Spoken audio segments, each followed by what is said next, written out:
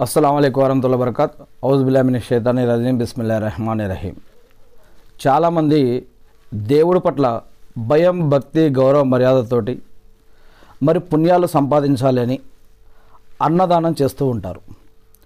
అన్నదానం గురించి ఇస్లాంలో ఖురాన్ మరియు హదీస్ ఆధారంగా డెబ్బై ఆరవ సుర ఐదో అధ్యాయం నుంచి పన్నెండవ వాక్యం వరకు అంటే డెబ్బై ఆరవ సుర ఐదవ వాక్యం నుంచి పన్నెండవ వాక్యం వరకు అల్లా సుమాతాల తెలియజేస్తూ ఉన్నారు.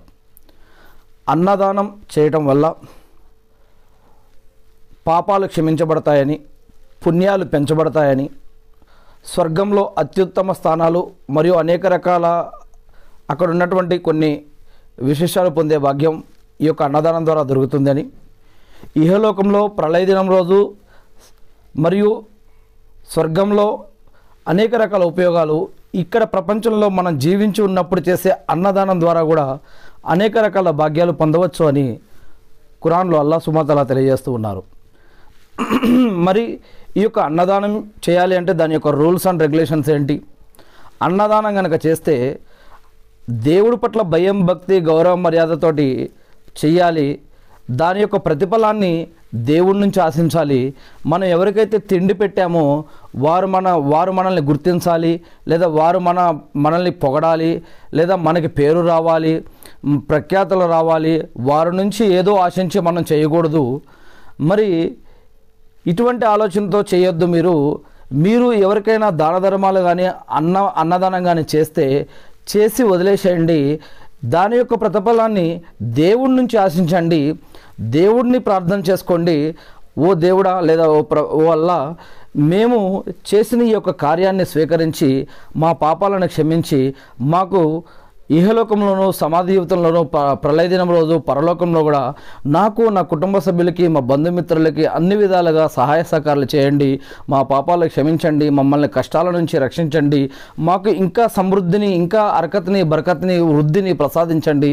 ఇహలోకంలోనూ పరలోకంలో కూడా మమ్మల్ని రక్షించండి అని చెప్పి ఈ యొక్క కార్యాన్ని ఈ యొక్క అన్నదానాన్ని స్వీకరించి మాకు మీరు అన్ని విధాలుగా సహాయ సహకారాలు చేయండి అని మనం ఏదైతే దాన ధర్మాలు అన్నదానం చేస్తామో అది చేసి ఆ దేవుడి నుంచి ఆశించాలి. కానీ ఇక్కడ ఎవరికైతే మనం దాన ధర్మాలు అన్నదానం చేస్తున్నామో వీరి నుంచి ఎటు ఎటువంటి ఎక్స్పెక్టేషన్స్ ఎటువంటి ప్రతిఫలాన్ని వీరి నుంచి ఆశించవద్దు అని దేవుడి నుంచి ఆశించమని అల్లా సుమార్తల ఖురాన్లో ఏ డెబ్బై ఆరవ అధ్యాయంలో ఐదు నుంచి పన్నెండవ వాక్యం వరకు కూడా తెలియజేస్తూ ఉన్నారు. మరి కురాన్లో ఈ యొక్క వాక్యం ఏదైతే ఉందో నేను ఉన్నది ఉన్నట్లు చదవ నేను చదవడానికి ప్రయత్నిస్తాను నేను. ఉన్నది ఉన్నట్లు చదివి వినిపిస్తాను నేను. మనం ఇప్పుడు చూడవచ్చు ఖురాన్లో డెబ్బై ఆరవ సుర సుర అద్ దహర్. ఈ యొక్క సూర ఐదో ఈ యొక్క సూరాలోని ఐదో వాక్యం నుంచి కనుక మనం చూసినట్లయితే ముందుగా నేను శాపగ్రస్తుడైన సైతాన్ బారు నుంచి సృష్టికర్త అయిన అల్లా యొక్క రక్షణని అల్లా యొక్క సాయాన్ని వేడుకుంటూ ఉన్నాను. ఆమె నిజంగా పుణ్యాత్ములు కాపుర్ అనే ఒక చలమ నుండి ఒక గిన్నెలో తెచ్చిన పానీయాన్ని త్రాగుతారు. ఆ పానీయం ఎలా ఉంటుందో అది స్వర్గంలోకి వెళ్ళిన తర్వాత మనకు తెలుస్తుంది. ఇక ధారాళంగా పొంగి ప్రవహింపచేయబడే ఊటల నుండి అల్లా యొక్క దాసులు త్రాగుతూ ఉంటారు. అది ఇక్కడ ఈ లోకంలో ఉన్నటువంటి మద్యం కాదు అది. దీని యొక్క ఉద్దేశం వేరు. మరి దీనిని అప దీనికి నానార్థాలు ఆలోచించవద్దు నేను ఉన్న వాక్యాన్ని ఉన్నట్టుగా చదువుతూ ఉన్నాను. ఇక ఏడో వాక్యం. వారు తమ మొక్కుబడులను పూర్తి చేసుకున్న వారే ఉంటారు. మరియు దాని యొక్క హాని అది ప్రళయ దినం రోజు ఉన్నటువంటి చెడులు కావచ్చు ప్రళయ దినం కావచ్చు లేదా ఇంకేదైనా కావచ్చు దాని యొక్క హాని అన్ని వైపులా కమ్ముకునే ఆ దినమును గురించి భయపడుతూ ఉంటారు. మరియు అది తమకు ప్రీతికరమైనప్పటికీ వారు నిరుపేదలకు మరియు అనాథలకు మరియు ఖైదీలకు ఆహారం పెట్టేవారే ఉంటారు. ఎవరెవరికి? అనాథలకు ఖైదీలకు మరియు నిరుపేదలకు ఆహారం పెట్టేవారే ఉంటారు. వారు వారితో ఇలా అంటారు. వాస్తవానికి మేము అల్లా ప్రసన్నత కోసమే మీకు ఆహారం పెడుతున్నాము. మేము మీ నుండి ఎలాంటి ప్రతిఫలం మీ నుంచి కానీ ప్రతిఫలం కానీ లేదా కృతజ్ఞతలు కానీ మేము మీ నుంచి ఆశించట్లేదు. నిజంగా మేము మా ప్రభువు నుండి ఆ సృష్టికర్త అయిన అల్లా నుండి వచ్చే ఉగ్రమైన దుర్భరమైన ఆ దినానికి మేమంతా భయపడుతూ ఉన్నాము. మరి కావున అల్లా వారిని ఆ దినపు కీడు నుంచి ఆ దినపు కీడు నుంచి కాపాడాడు.